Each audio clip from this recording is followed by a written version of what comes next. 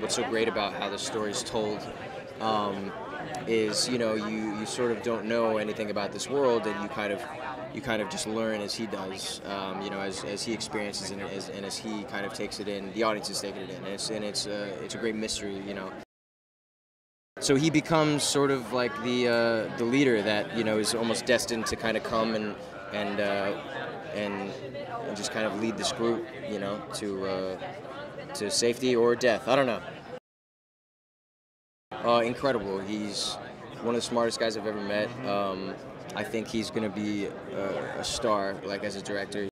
And then you meet him, and he's like not only has this like kind of just genius uh, uh, tool of a brain, where he's just like an artist and he's such a visual effects like mastermind, but he's also got a really really good handle on storytelling.